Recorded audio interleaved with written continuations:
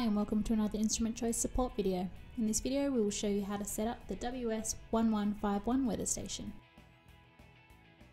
First of all, insert the batteries in both the indoor and outdoor consoles.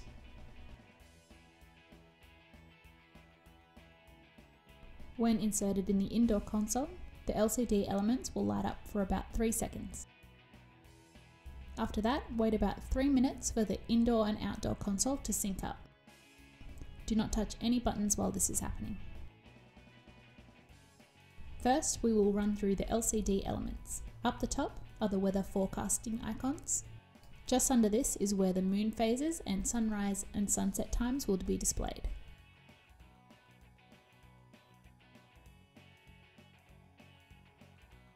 Between the weather forecasting icons is where a weather tendency indicator will be displayed.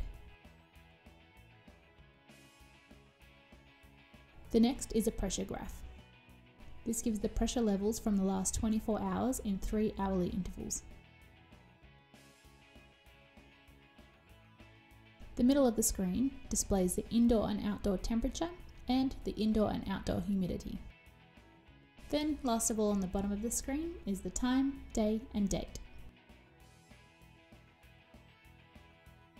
The indoor console has five buttons, four along the bottom and one on the top of the device.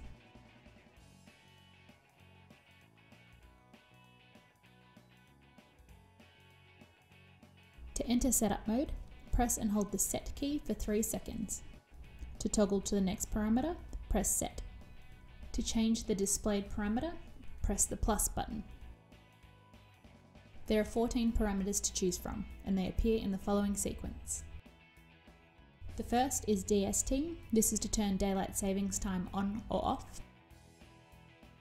The next is selecting between 12 or 24 hour time display. The next is city selection. See the operation manual for your city's abbreviation. This selection is manual time setting. Change hours or minutes. Then you can move on to manually changing the calendar.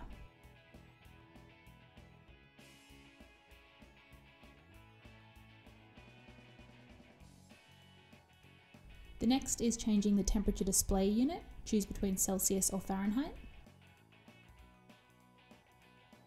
The next four selections are indoor temperature and humidity and outdoor temperature and humidity calibration.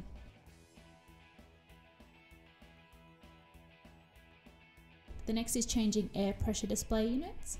Choose between inch in mercury or hectopascals.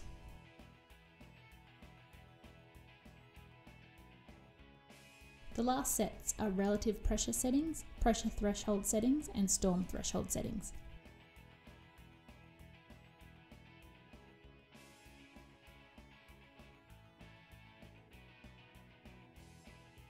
To exit the setup, you can idle for 10 seconds or press the snooze button on the top of the device.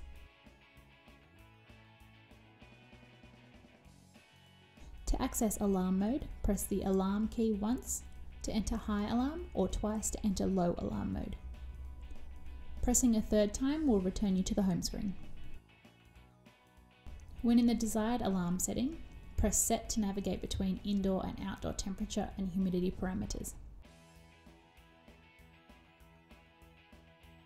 Then, to change the alarm setting, press the plus button to toggle the value. Press set again to return.